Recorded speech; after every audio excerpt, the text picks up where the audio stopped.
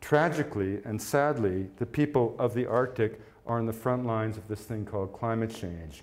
Photograph I took in the northernmost community in the world, Qaanaaq in northwest Green Greenland, the only place in the Arctic where the people remain devoted to their dogs.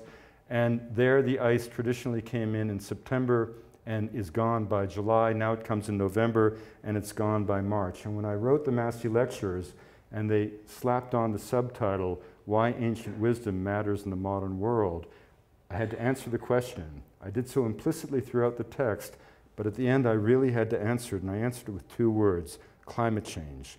Not to suggest that any of us go back to a pre industrial past or that anybody in the world be denied the genius of the modern age, but rather to suggest the very existence of these other ways of being, these other realities, the other interpretations of life itself, put the lie to those who say there are no options, put the lie to those who say that we cannot change, as we all know we must change, the fundamental way we interact with the world.